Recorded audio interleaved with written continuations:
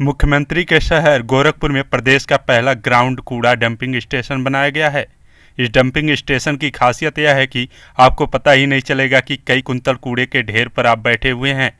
यहाँ लगी कुर्सियों पर बैठकर आप चाय, नाश्ते के आनंद भी ले सकते हैं। बहुत गंदगी थी, बहुत बदबू था।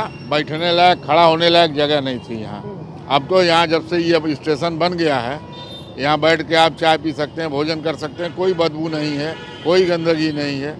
ये तो भारत की देन है मोदी जी की देन है। ये डंपिंग स्टेशन बना है इससे आज स्थिति बहुत बदल चुकी है। और मैं तो चाहता हूँ इस प्रकार के डंपिंग स्टेशन हर जगह स्थापित किए जाएँ जिससे कि समाज में फैलने वाली दुनिया तमाम बीमारियों से निजात पाया जा सके। अंडरग्राउंड डस्ट डस्टबिन बनवाए हैं आपने देखा होगा उसको।